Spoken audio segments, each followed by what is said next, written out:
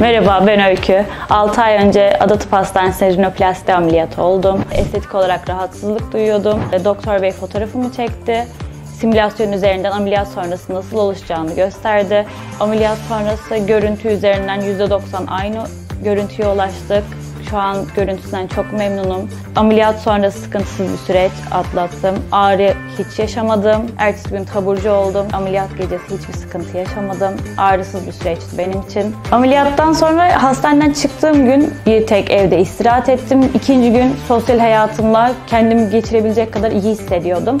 Birinci haftada Tamponlarım çıktı. Tamponlar çıktıktan sonra normal hayatıma geri döndüm. O gün dışarıya çıkabildim. Sadece bantlar kalıyor. Bantlar da normal hayatı etkilemiyor. Ee, Ada Tıp Hastanesi'ni herkese tavsiye ediyorum. E, Doktorların ilgisi, çalışanların ilgisi. Kendimi çok rahat hissettim ameliyat sürecinde. Ameliyat sonrası da gayet ilgililerdi. İstediğim her zaman doktorla iletişim kurabildim. Sorduğum her soruya net cevap alabildim. Gayet mutluyum ameliyat sürecinden ve sonrasından da.